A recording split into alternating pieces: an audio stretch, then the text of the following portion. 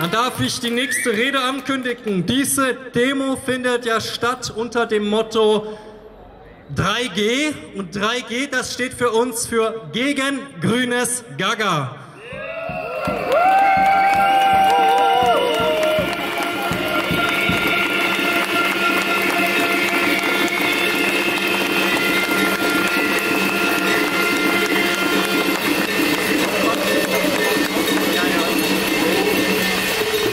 Und natürlich ist es sehr, sehr wichtig, dass wir 3G einhalten. Aber dafür müssen wir erstmal wissen, was 3G genau ist. Und jetzt haben wir hier den Vorteil, dass wir eine Sprachwissenschaftlerin da haben, eine Germanistin, die uns jetzt ein bisschen etwas über das grüne Gaga erzählen wird. Großen Applaus für Dr. Katja Leihausen.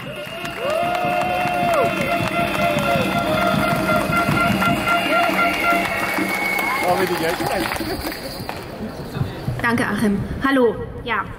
Ähm, Grünes Gaga ist ein ganz toller Begriff. Ich danke den Organisatoren dafür. Man kann damit grüne, grüne Politik ins Lächerliche ziehen. Aber, wie wir auch gerade schon gehört haben, es ist ja gar nicht lustig. Wir sehen zum Beispiel, dass, oder wir sehen immer, dass grünes Gaga krank macht. Zum Beispiel und ganz besonders junge Menschen und Kinder.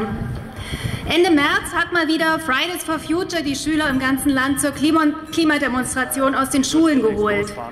Nach zwei Jahren Corona-Schulchaos. Das war wirklich gut, dass die Kinder mal ein bisschen Abwechslung bekommen haben. Die Schulgärten werden zugepflastert, Unterricht wird ins Homeschooling an die Bildschirme verlagert. Wenn Lockdown ist, werden die Jugendlichen aus den Grünanlagen vertrieben. Sogar den ganz Kleinen wurde das Spielen im Freien verboten. Aber nun werden sie wieder schnell alle herbeigerufen, damit sie für das 1,5 Grad Planziel der Grünen Partei die Schule schwänzen. Die Instrumentalisierung unserer Kinder im Namen von Bevölkerungsgesundheit und Weltklimarettung geht also weiter. Das ist grünes Gaga. Deshalb bin ich hier.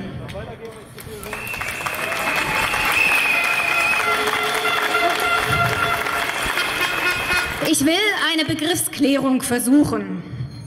Für mich besteht grünes Gaga in falschen Versprechen, die unter falschen Voraussetzungen gegeben werden und die in einer konkreten Politik von Täuschung und Selbsttäuschung zur Anwendung kommen. Grünes Gaga ist Ausbeutung durch Irreführung und davon werden Menschen krank.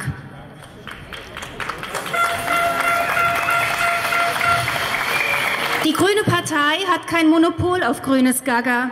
Es wird aber von dieser Partei besonders vorangetrieben, weil sich die Umwelt- und Klimathemen besonders dafür eignen. Überall, wo grüne Themen behandelt werden, ist man dazu übergegangen, sich nicht mehr mit dem zu beschäftigen, was gegenwärtig gerade geschieht. Das verlangt ja Differenzierung und Kompetenz, genaues Hingucken und so weiter. Stattdessen wird besprochen, was in Zukunft bestimmt noch alles geschehen kann. Corona und Impfpolitik geben dafür regelrecht ein Muster ab. Erst heißt es, es kann alles noch ganz schlimm werden. Das Virus kann die Bevölkerung dahin raffen. Long-Covid kann uns noch auf Jahre quälen. Die Pandemie kann wiederkommen. Freilaufende Kinder können gerade in Pandemiezeiten gefährlich werden. Und Kritiker, die das alles nicht glauben, können sehr gefährlich werden. Der hohe Energieverbrauch und die Nutzung fossiler Energieträger können, können, können die Erde unbewohnbar machen. Und dann wird behauptet, aber wir können etwas dagegen tun. Wir können die Probleme lösen. Wir können, ja, was können wir eigentlich? Also ich bin Germanistin, mein Thema ist die deutsche Sprache. Hm, wenn man Deutsch als Fremdsprache unterrichtet, was ich früher mal gemacht habe, dann übt man mit den Studenten so ein Verb wie können in ein Substantiv umzuformulieren, damit man seine Funktion im Satz besser versteht. In den Sätzen der grünen Politik, Medien und Wissenschaften sieht man, es geht ihnen nicht um irgendwelche Möglichkeiten, statistischen Wahrscheinlichkeiten, nicht um Risiken und Optionen der Gefahrenprävention. Sie machen keine Nutzen-Risiko-Abwägung, das haben wir ja gesehen gerade. Womöglich müssten Sie sich dann eingestehen, dass solche Abwägungen in komplexen Gesellschaften schwierig sind. Außerdem würde das ein Publikum voraussetzen, welches sich eine eigene Meinung bildet und Widerworte gibt. So ein Publikum ist anstrengend. Es kostet nur und zahlt nicht. Deshalb schüchtern Sie es lieber gleich richtig ein. In einer eigenen Mischung aus Panik, Schicksalsgläubigkeit und Größenwahn. Erst machen Sie Risiken zu apokalyptisch gepfefferten Warnungen vor der ultimativen, unausweichlichen Katastrophe. Und dann brezeln Sie Möglichkeiten der Prävention zu vollmundigen Erlösungsversprechen auf. Wir können diese allerletzte Katastrophe mit neuen Technologien und mit einer neuerdings hart durchgreifenden Staatsgewalt abwenden, sofern wir uns alle unterwerfen. In der Diskursanalyse nennt man diese beiden Muster von Können, Warnung und Versprechen Katastrophismus und Solutionismus. Katastrophismus ist selbsterklärend. Solutionismus eigentlich auch. Es kommt von Englisch Solution und meint die Ideologie der Problemlösung und Weltverbesserung durch Big Data. Also durch Prozessmodellierungen, PCR-Tests, Tracing-Apps, mRNA-Impfstoffe auf der Basis genetischer Datenbanken und so weiter. Zu beschreiben wäre außerdem, wie dieses Können in ein Müssen transformiert wird. Ein Zungenschlag und hast du nicht gesehen, haben diese Zukunftsexperten mit knallharten Verboten unsere Freiheitsrechte in die Vergangenheit entsorgt.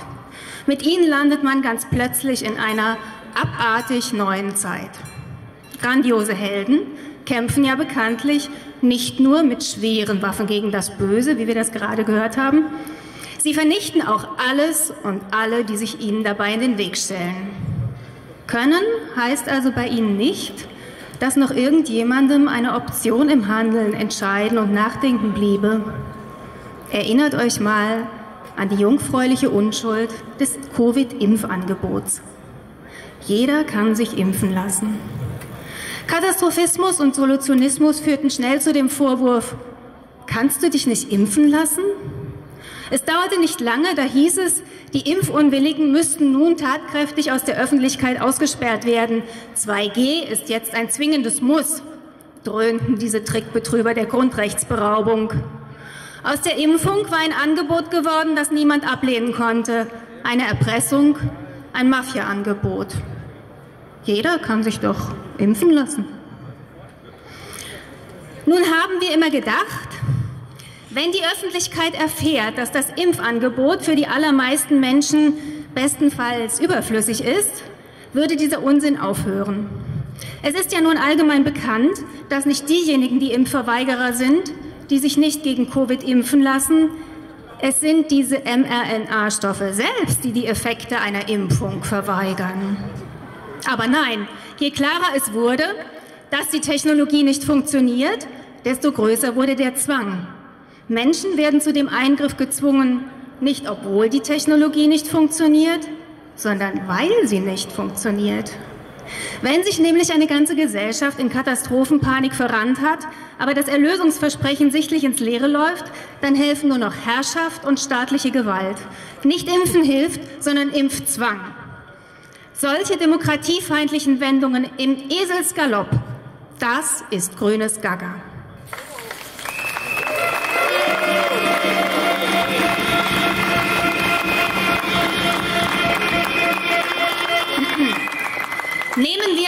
Noch grüneres Beispiel als die Covid-Impfpflicht. Nehmen wir die Epochenbezeichnung Anthropozän. Ihr kennt sie seit dem Jahr 2002 und wisst, äh, das soll die potenzielle Gefahr bedeuten, dass der Mensch die Natur und damit seine eigenen Lebensgrundlagen selbst aktiv zerstören kann. Diese Epochenbezeichnung an sich ist eine einzige Warnung an die Menschen vor sich selbst. Katastrophismus in einem einzigen Wort. Mittlerweile wurde aber diese Bezeichnung von interessierten Kreisen umgedeutet als Erlösungsversprechen im Sinne des Solutionismus. Der Mensch ist durch seine technischen Erfindungen so potent geworden, dass er die von ihm selbst verursachte Zerstörung der Natur selbst verhindern kann. Er kann die Natur beherrschen und weil auch der Mensch zur Natur gehört, kann er als Mensch über andere Menschen herrschen. Wenn diese Technologiefreunde vom Anthropozän sprechen, dann geht es ihnen um einen absoluten Machtanspruch. Diese kleine Wortgeschichte zeigt, dass ein Machtkampf ausgebrochen ist zwischen Katastrophisten und Solutionisten. Die aufdringlichen Technologieverkäufer liefern sich schon lange ein Scharmützel mit den apokalyptischen Trommlern. Umgekehrt werden sie angeklagt, am Ökozid und Massenmord wegen Klimaschädigung schuld zu sein. An der Oberfläche dieser Scharmützel sieht es so aus, als ob sich beide Ideologien gegenseitig lahmlegen. Aber die Gemengelage wird zunehmend unübersichtlich und es bleibt übrig die Herrschaftsanmaßung von Staatsgewalt und Mehrheitsgesellschaft. Den Übergang von Können zu Müssen zeigt die ganz neue Epochenbezeichnung Pandemie 10. Ich weiß nicht, ob ihr das schon mal gehört habt, aber das gibt es wirklich. Das Scheitern der großen technischen Versprechen, die wir jetzt bei der sogenannten Covid-Impfung erlebt haben, ist in diese Bezeichnung schon mit eingepreist. Ich habe sie in der Zeitschrift Atlantic gerade vom 28. April online gefunden und da wird über eine Computersimulation der Universität Georgetown in Washington DC berichtet. Die Ergebnisse sind natürlich, wie kann es anders sein, alarmierend. Denn aufgrund des Klimawandels leben wir, wörtlich, in einem Zeitalter ansteckender Gefahren. Gerade dachten wir noch, wir lebten im, im Anthropozän, also im Zeitalter des Menschen, und da erklärt uns diese Simulation, für die Viren der Welt ist dies eine Zeit beispielloser Möglichkeiten. Wir leben also im Zeitalter der Viren.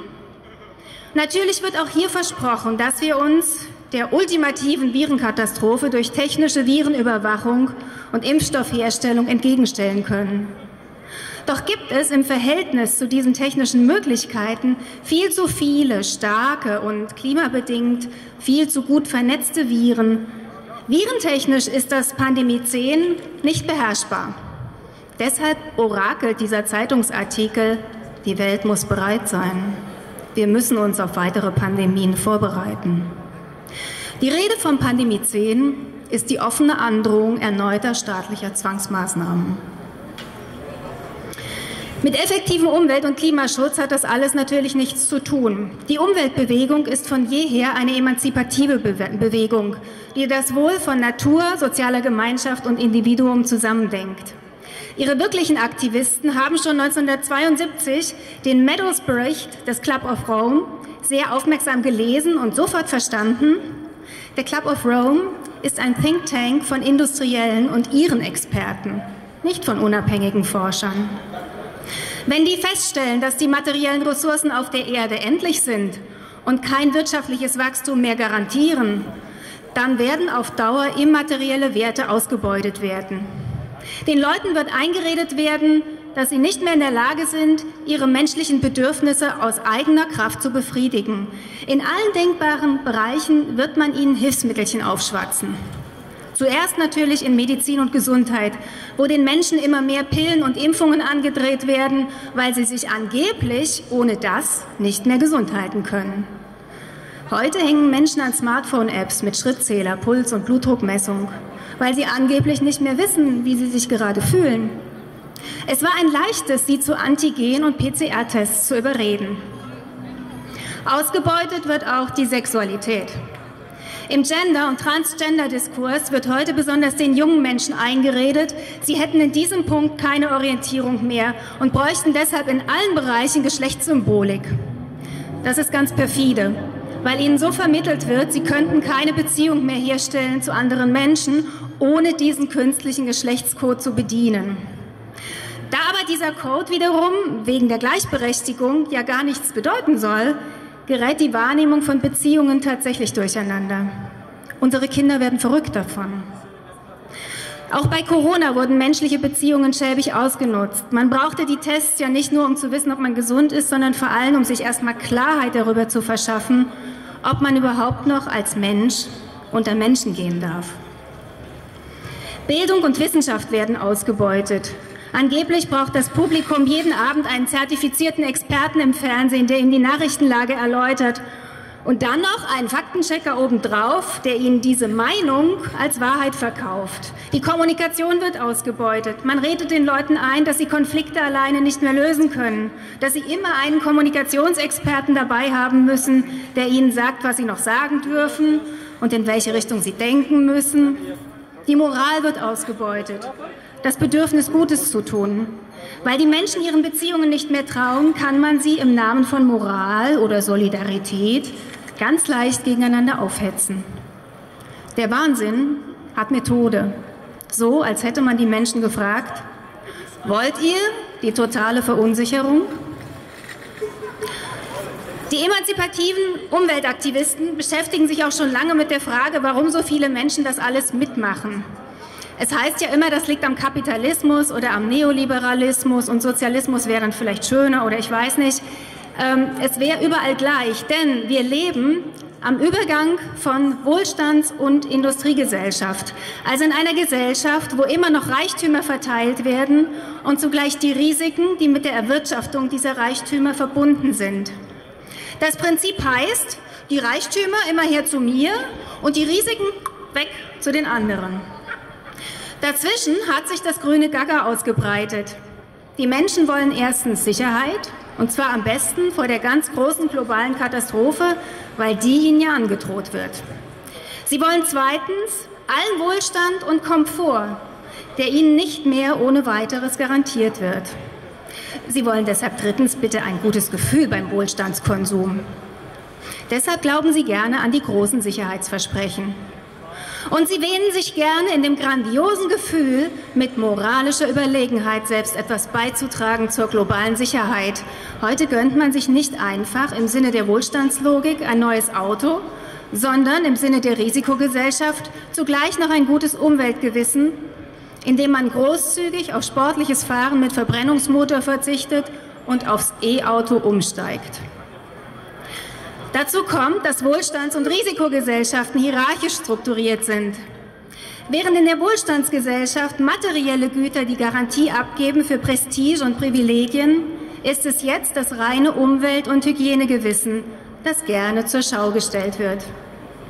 Dass viele immer noch Maske tragen, draußen im Freien, dem, also an, an wirklich äh, erstaunlichen Orten auch, kann ich mir mit Katastrophismus und Solutionismus allein nicht mehr erklären. Sie tragen die Maske, weil sie damit zeigen, an welcher herausragenden Stelle in der Gesellschaftshierarchie sie stehen.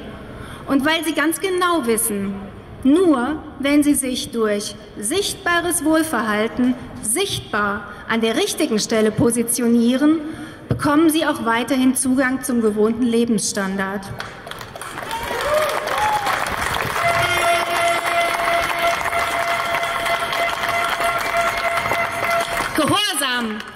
Die Währung der Zukunft. Der sogenannte Umwelt-, Gesundheits- und Klimaschutz, der daraus entsteht, ist in Wirklichkeit nur Greenwashing. Das ist das letzte Wort, das ich heute erläutere, weil in diesem Wort alles drinsteckt. Als Wortkonstruktion ist es nämlich angelehnt erstens an Whitewashing, was heißt, dass die Verantwortlichen ihr eigenes Gewissen reinwaschen. Zweitens an Brainwashing, was bedeutet, dass sie durch Propaganda die Öffentlichkeit steuern. Und drittens zu Hogwash. Hogwash ist der Unsinn, der in der Sache getrieben wird. Die ungeklärte Entsorgung der E-Autos, die Ausbeutung seltener Erden auf entlegenen Kontinenten, der Landraub weit weg in Afrika für kompensatorische Aufforstung beim CO2-Klimawandel, der Klau genetischer Daten in Indien für dubiose Datenbanken, Überall da haben wir es, das grüne Gaga, das auch Greenwashing oder noch deutlicher grüner Kolonialismus genannt wird.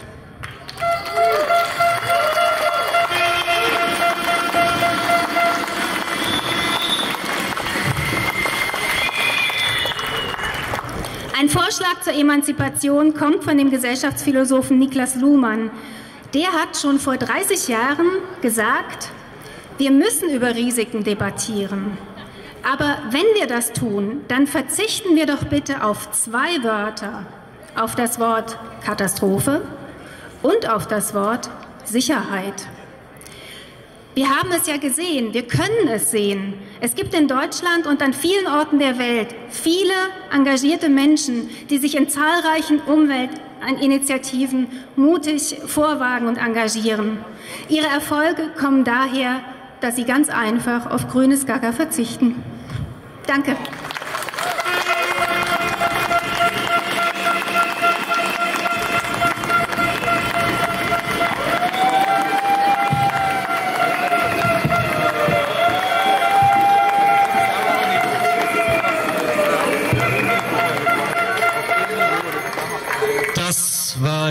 Germanistin Dr. Katja Leihausen auf der Demo der offenen Gesellschaft Kurpfalz. Alle Redebeiträge zum Nachhören findet ihr auf unserem YouTube-Kanal der offenen Gesellschaft Kurpfalz und auf der Internetseite www.offges.de oder auch offene-gesellschaft kurpfalz.de.